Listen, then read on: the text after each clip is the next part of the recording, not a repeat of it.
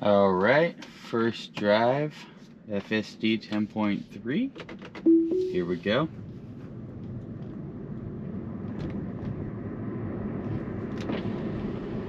Roll my window up. I already noticed uh, we've got some new options to fiddle with. I'm gonna not do that going through an intersection. Autopilot has profiles, chill, average, and assertive. Uh, seems a lot smoother, honestly.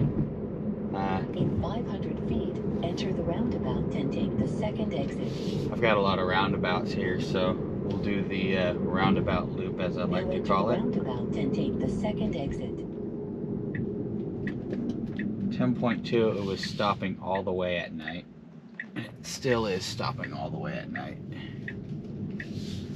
During the day, sometimes it'll proceed through those and actually In yield. 500 feet, enter the roundabout and take the second exit.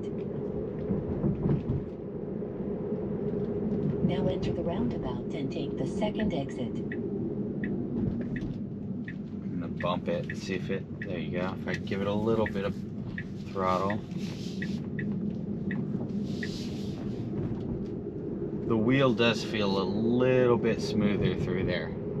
Uh, used to be a little bit In 500 feet, kind of jerky, a little searchy. stay on Calle Tampico. Now keep left to stay on Calle Tampico. Right. Roundabout. This one isn't Now turn left yet. onto Eisenhower Drive. and it doesn't doesn't tell you you have to exit a roundabout, but handles it pretty well. Now turn left onto Avenida Martinez. Actually, I'm gonna break that and just pull over here real quick.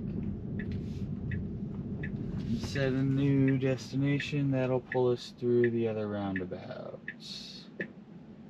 Uh, oh, Silver Rock, that's right.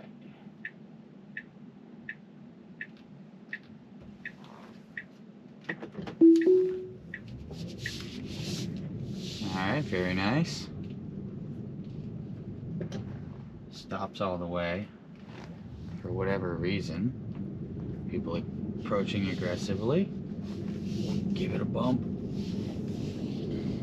Whenever I say give it a bump, I just mean like bump the throttle just a tad. I'm not gonna let it try to stop at this next one if it attempts to. 500 This guy's following me pretty close. Take the third exit.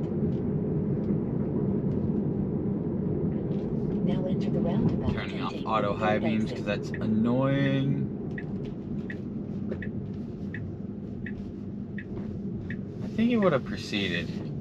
I think it stops when it has those pedestrian crosswalk lines or something. I'm not entirely positive why it's doing that. But the roundabouts are, I feel, much improved. We're going smooth but aggressive. Enter the roundabout and take the second 50 miles an hour is not cool on this street. I don't know where it got that. the roundabout and take the second exit.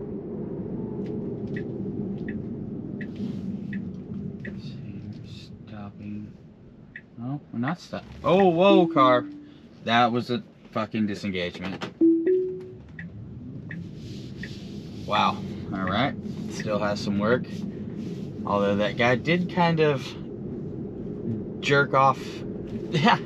Pardon the pun. He did. He did veer towards the uh, exiting the roundabout and then kept proceeded, you know, to the next move. But I thought he was about to exit. The car did too and proceeded, but